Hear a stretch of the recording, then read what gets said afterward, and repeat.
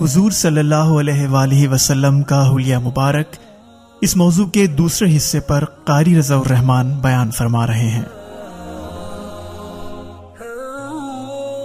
نحمده ونصلي على رسوله الكريم اما بعد، فاعوذ بالله من الشيطان الرجيم بسم الله الرحمن الرحيم محترم سامعین، السلام علیکم ورحمۃ اللہ وبرکاتہ۔ حضور علیہ الصلاۃ والسلام کی سیرت صرف عبادات تک کا نام نہیں، بلکہ آپ علیہ الصلاۃ والسلام کا ہر ہر عمل سیرت مصطفیٰ کے نام سے معنون اور محفوظ ہے۔ حضور علیہ صلاۃ والسلام کی سیرت طیبہ کا مطالعہ اور اس پر عمل ہمارے لیے دنیا اور آخرت کی کامیابی اور کامرانی کی یقینی دلیل ہے۔ گزشتہ بیان میں حلیہ مبارک پر بات چل رہی تھی کہ حضور علیہ صلاۃ والسلام کے جسم اطہر کے ہر ہر اعضاء کامل اور مکمل اور نہایت اعلیٰ درجے کے خوبصورت تھے۔ ہتیلیاں کشادہ تھیں، ہاتھ مبارک اور قدم مبارک، گوشت سے پر اور قدرے بھاری تھے۔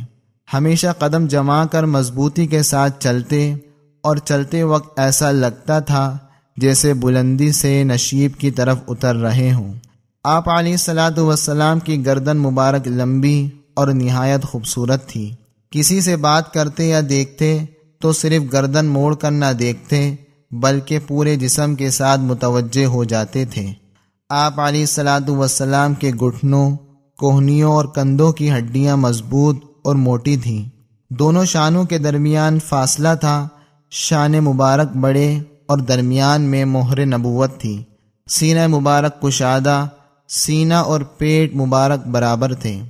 جب ہی صحابی رسول حسان بن ثابت رضی اللہ تعالی عنہ نے آپ کے بارے میں کچھ یوں بیان فرمایا فرمایا و احسن من کلم ترقت تو میری آنکھوں نے کبھی آپ سے زیادہ حسین نہیں دیکھا۔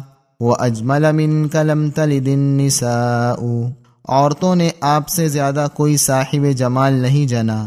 خلقت مبرا من کل عیب۔